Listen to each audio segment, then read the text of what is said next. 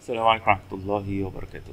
دلوقتي ساعات الواحد بيبقى بيكتب مقالة ففي كلمة أولانية خدها copy وبعد كده خد كلمة تانية فالكلمة الأولانية اتمسحت. لما تدوس Ctrl V بيجيب لك آخر حاجة موجودة في الذاكرة. فأنا عايز أحتفظ بالسلسلة دي. فبدل ما بتدوس Ctrl V لأ دوس علامة ال- الشباك أو علامة ال Windows V هيجيب لي قايمة بكل الحاجات. فمثلا لو أنا مثلا خدت كلمة document دي copy أهو. هدوس النجمة مع هدوس ال- Windows مع ال V هيجيب لي القائمة دي فألاقي documents وألاقي ال- ال- الرقم وألاقي كل حاجة.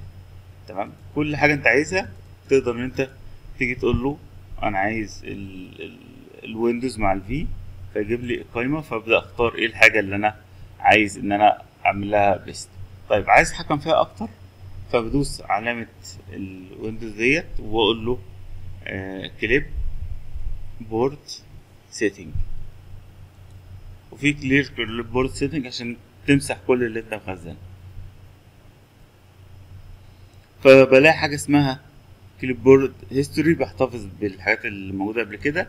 و sync لو أنا عندي أكتر من جهاز بنفس ال user فممكن مجرد إن أنا أقول له Ctrl V يجيب لي كل الحاجات اللي معمول لها copy في بقية الأجهزة.